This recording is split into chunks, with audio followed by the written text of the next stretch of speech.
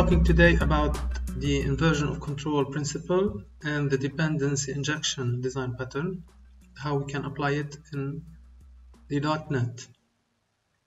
So I created here a class employee which has a dependency on another class salary calculator. So in this case, a, a high level module is depending on a low level module which is the salary calculator. Why it is a low level module? Because it is uh, it is considered a functionality that is used in the bigger class which is the class employee. So whenever a high level module class is depending on a low level module class so they do not uh, the code here doesn't respect the inversion of control principle. The inversion of control principle states that high level modules should not depend on low level modules. They should depend on abstractions. So what can we do here? We go to the class salary calculator. We, cre create we, we have to make the class employee depend on an abstraction of the class salary calculator. So we create an interface which is called, which you can call it iSalary calculator.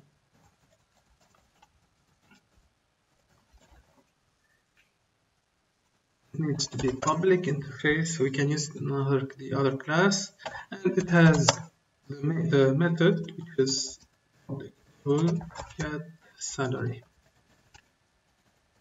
and we have to make the class salary calculator implements the interface i salary calculator so and in the class employee we have to change it and inject the service in the constructor for example there are many ways to inject the services there are uh, property injections and there are constructor injections. Here we'll be using the constructor injection. So inject the I salary calculator in the constructor and we have to make it a property.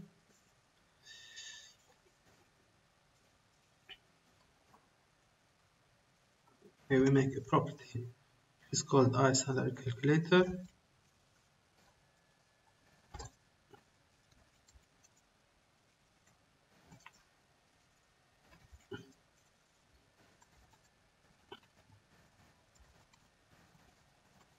Okay, and now in the method salary, we just use the implementation of the iSalary calculator. Now, in the main program, what we have to do, so we have to make the implementation of the interface iSalary calculator, like now, as salary calculator equals new standard calculator and we uh, put uh, our rate for example as we change implementation now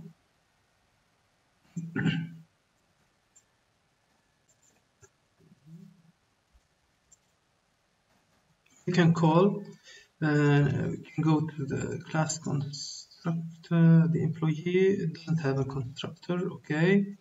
Now employee M we inject we have to inject the salary calculator. Now we can call the method get salary. In this way so the employee class employee is not depending on uh, the uh, the implementation itself. So let's consider uh, we have another implementation of the salary calculator. For example uh, another class add new item we go to class. Ooh, let's say it's a promoted salary calculator. Promoted and it has another implementation of the method get salary. So class. Which implements the interface iSalary calculator and so if it implements the interface iSalary calculator it needs to, to have the method get salary public double get salary. Um, here for example I'll uh, make it return static number which is 1500 so whenever we call uh, the salary calculator promoted and we call the method get salary, it returns the 1500 number. So uh, when we go back to the main, to the main, if we call the first one, it will get, it will give the first salary. Now if you inject the second salary calculator, which is salary calculator promoted, um, it doesn't, it doesn't have nothing in the constructor as parameters. Okay, so we add sp and we call it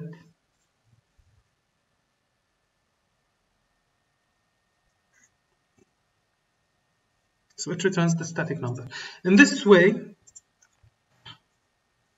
the salary employee can use uh, those different implementations, which was not possible in the first uh, way of writing the code. So now we'll be talking about the IOC containers, the inversion of control containers. So the container must know which dependency to instantiate when it encounters a particular type. It has to resolve the dependencies for example, here we can we can say that whenever you um, face the iSalary calculator interface, you need to to use the second implementation, which is the salary calculator promoted. This is the job of the IOC containers, the dependency injection containers. In the .NET core, there is an extension with a built-in dependency injection uh, container, which is Microsoft.extensions.dependency injection. We add it from the NuGet package manager. So manage NuGet packages, and we add it from here. We write, we type Microsoft, we search for it, and we install it. Now let's use it. Let's use this uh, dependency injection container. For example, uh, here we'll, we'll, be talking about services. Now, um, the services are the classes that to be injected in the dependencies. We need to make a service collection and a service provider and build the service provider and make the container resolve the dependencies. For example,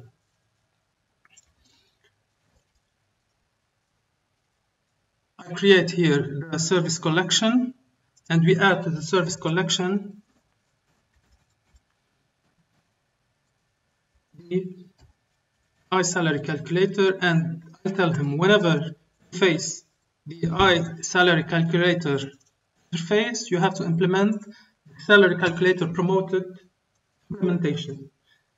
Now we, we added to the service collection the service in a singleton scope we have uh, three types of scopes. Scopes means the lifetime of uh, the service. So uh, the container manages the lifetime of the services. We have three types. We have the singleton, as we, as we saw. We have the scope. And we have the transient.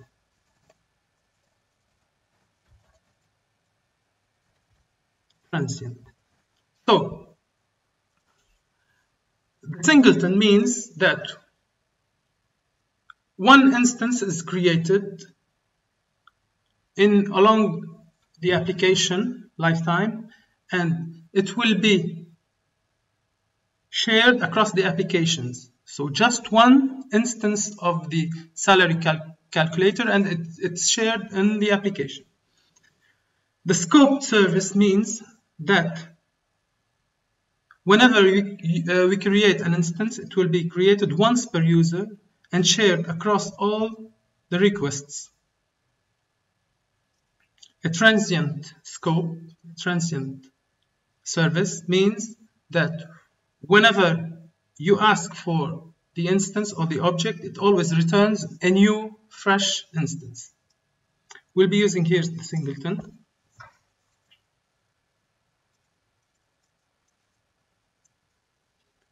So now the next step would be to build the service provider. Dot build service provider. And the second part will be to get the salary calculator um, service. For example, we tell him that uh, salary calculator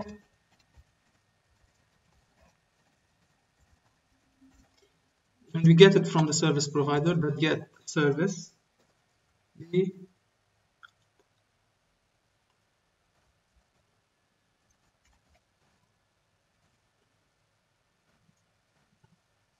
So here it will resolve the